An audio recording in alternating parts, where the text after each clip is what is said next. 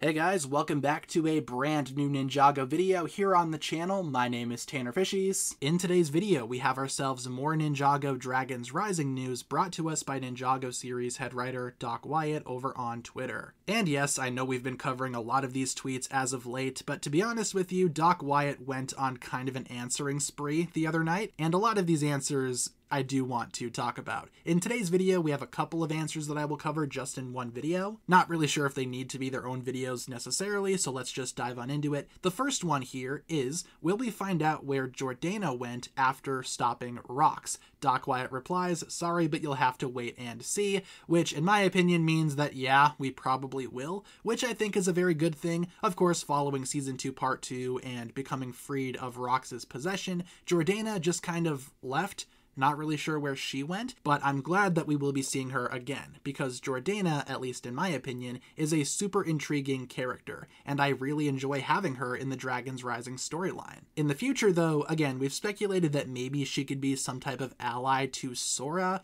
maybe some type of informant, not officially, joining or siding with the ninja, but being, again, just an ally. I think that's possible, again, especially considering what happened at the end of season 2, part 2. But I'm sure we will see, again, in terms of where she went, what she's doing now, we can only speculate, but the good news is we will definitely be seeing her in the future. And finally, the second tweet that I want to cover in this video involves the baby dragon that we saw from season 2 part 2 in the first episode, or episode 11 of season 2 just overall. Somebody asks this question, can you tell us the name of the baby matriarch dragon please. Doc Wyatt replies, Oridini? Oridni? Not really sure how to pronounce that name properly, but there is a star just by doing some Googling that is called the Epsilon Oridni, so I wonder if that's something related to the name. Maybe they named this dragon after this star.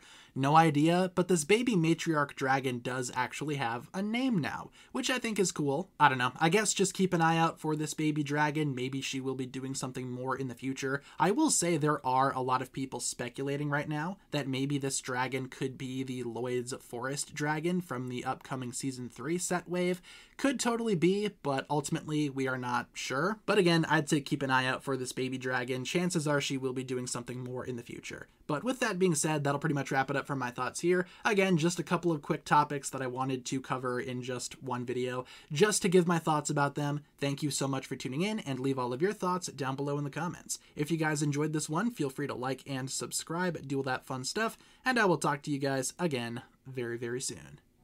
Peace.